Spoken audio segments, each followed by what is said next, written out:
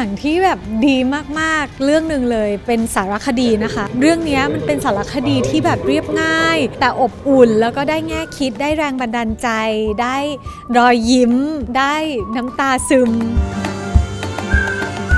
วันนี้หลังจากดูหนังแล้วก็ได้ข้อคิดในการไปปรับใช้กับคุณพ่อคุณแม่เราอะครับ ตอนแรกๆเราเราอาจจะไม่เข้าใจท่านใช่ไหมฮะพอมาดูหนังเนี่ยเออมันก็ทำให้เราเข้าใจคนในวัย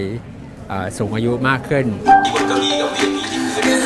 เพราะว่าหนูอะมีอายุแค่1นึ่งเซนหนึ่งส่วนสามใช่ไหมคะ ก็คือหนูก็อยากรู้ว่าชีวิตวัยหลังเกษียณหรือว่าแบบหนูอาจจะไม่ต้องเกษียณ 60 ก็ได้อาจจะสัก 40 ก็ได้หนูอยากรู้ว่าการดำเนินชีวิตอะมันเป็นยังไง รู้สึกว่าทุกวัยทุกเพศทุกวัยไม่จำเป็นต้องแบบอายุที่ต้องเกษียณแล้วค่ะ ไม่ว่าจะเพศไหนวัยไหนก็วางแผน แล้วว่าแบบหลังเกษียณอยากมีชีวิตแบบไหน หรือแบบเตรียมพร้อมกับอะไรที่เราต้องเจอในแบบในอายุเท่านั้นนะคะ ปกติไม่ได้ดูหนังแนวนี้เลยครับไม่ไม่ไม่ค่อยได้ดูเลย มาดูหนังที่นี่ก็คือถือว่าใช้เวลาแบบว่าเออได้คุ้มค่ามากๆคุ้มกับที่มาจากปทุมธานีครับเราอยากวางแผนการเกษียณ อยากดูแนวคิด แล้วก็วิธีหรือไอเดียจากการเกษียณของแต่ละคนประทับใจมาก ๆ ประทับใจหลาย ๆ มุมมาก ๆ ค่ะ ก็ย้อนมาที่ตัวเอง บางทีก็ต้องทบทวนตัวเองว่าเออ ตัวอย่างคุณ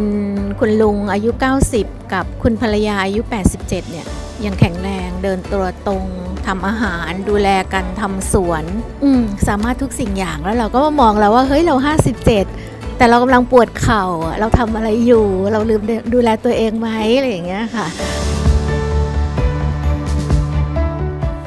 ธรรมชาติที่ใหญ่เป็นคำตอบสำหรับทุกสิ่งฉันว่ามันเป็นเรื่องที่ดีนะคะ ในการที่เราได้ดูหนังแล้วเหมือนได้มาแลกเปลี่ยนกันอะเพราะว่าเวลาดูอะแต่ละคนก็จะแบบเหมือน หยิบบางสิ่งบางอย่างออกมาจากหนังที่มันไม่เหมือนกัน มันก็ยิ่งทำให้รู้สึกว่าได้แง่มุมที่หลากหลาย แล้วก็สนุกในการที่ได้แบบเหมือนแบ่งปันความคิดเห็นซึ่งกันและกันเลย คนที่มาแบ่งปันนะคะ ก็เป็นคนที่มีความหลากหลายทั้งเรื่องเพศเรื่องวัยอะไรต่างๆเนี้ยมันก็ได้เห็นแง่มุมของของแต่ละช่วงวัยนะคะ ที่เขาแบบมีทัศนคติต่อการใช้ชีวิตแบบไหนอะไรเงี้ย